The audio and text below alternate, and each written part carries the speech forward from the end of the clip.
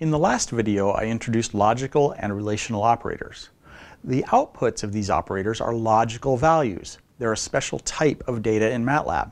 So if one of these operators outputs a value, MATLAB knows that the value is logical and treats it differently from numerical values in some ways.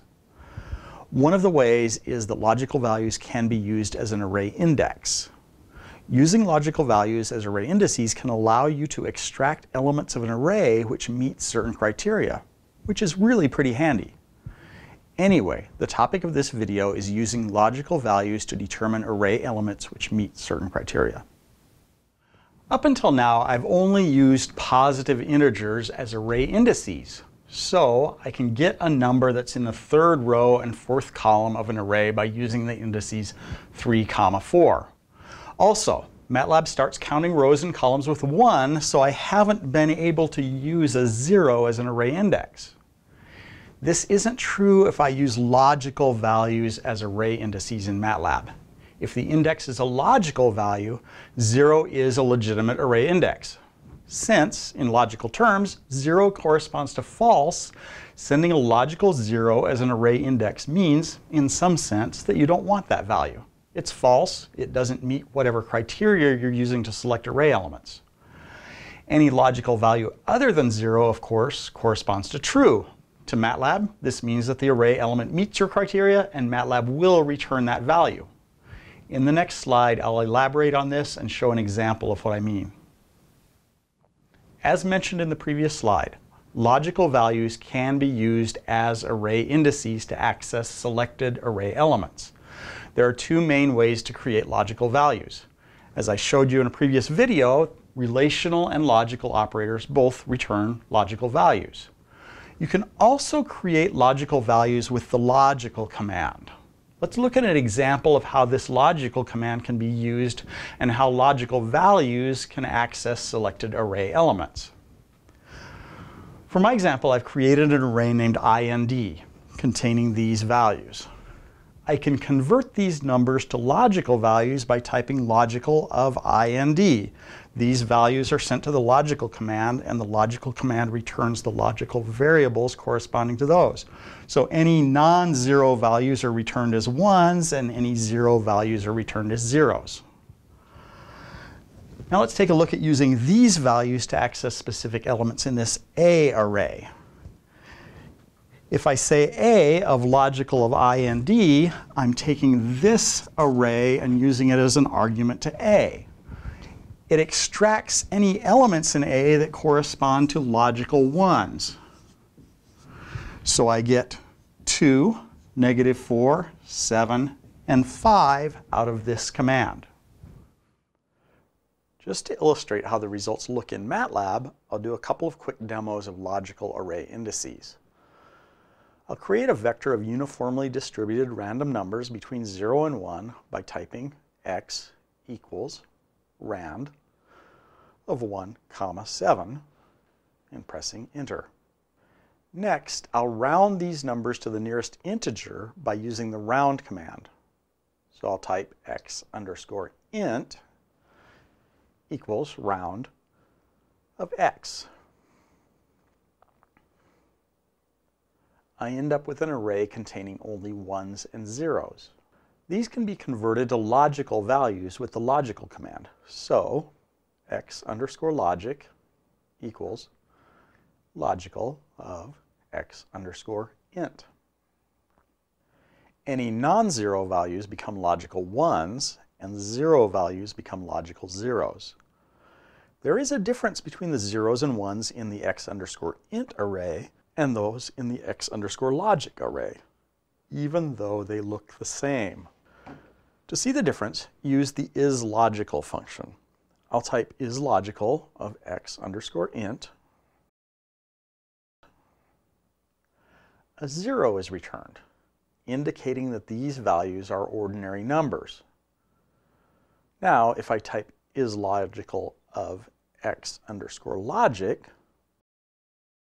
I get a 1. So the x underscore logic array contains logical values. This is also apparent in the workspace window where x underscore logic array is indicated as being a logical array. This difference is important since logical values are fundamentally different from numbers in MATLAB. For example, I can't use x underscore int as defining elements in the original array of random numbers.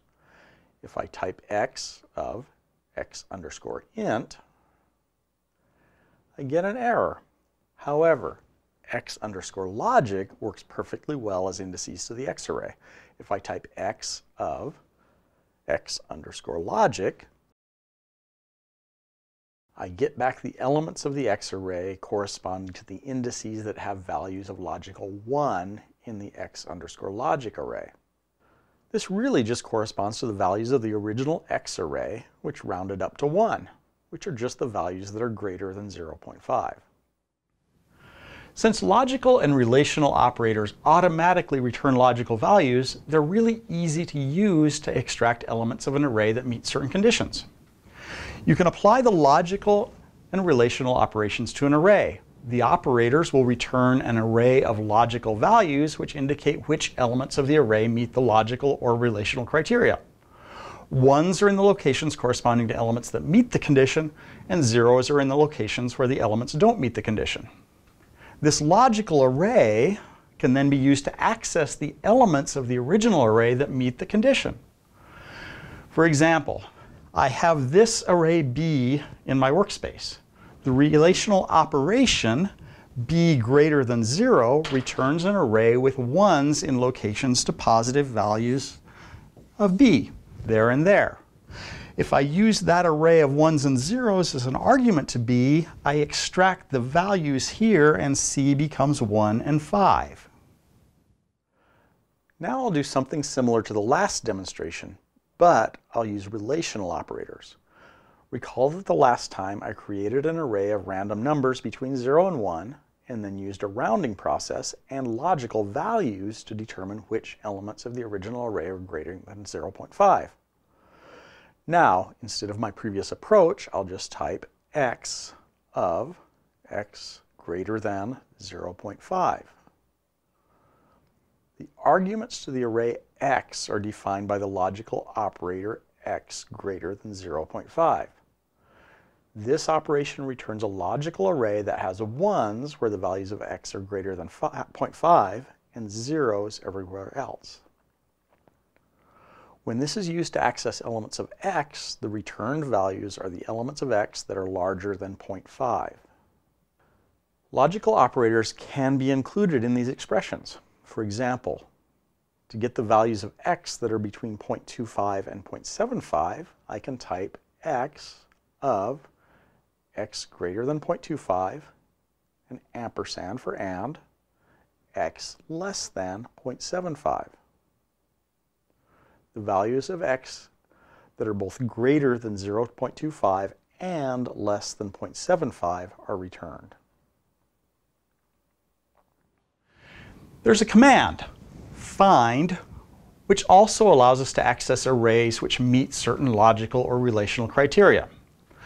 Find returns the indices at which non-zero array elements occur. This is particularly useful if the array sent to the find command is logical, and probably even more useful if logical or relational operators are used to generate the array. As an example of this, I can create a row vector of five uniformly distributed random numbers between 0 and 1 with this command.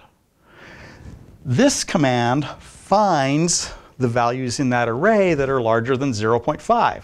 The find command returns indices where this condition is true, and using those indices as an argument to D extracts the values that are true or returns the values that are greater than 0.5.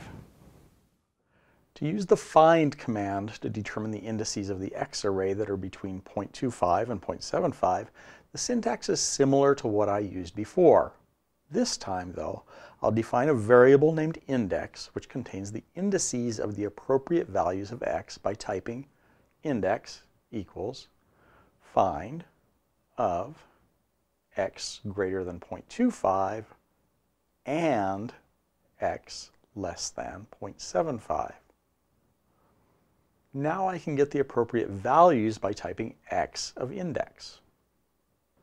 Of course, as before, I could condense this into one command by typing x of find of x greater than 0.25 and x less than 0.75. This video showed how to use relational and logical operators to extract desired values from an array. This is one form of decision making. You get certain values based on a decision that you make. In this next video, I'll introduce an even more powerful decision making tool, an if structure. The if structure allows you to conditionally execute sections of code based on conditions which evaluate to logical true or false values. So the general idea is that if this one thing is true, then do this, but if it's false, do something else.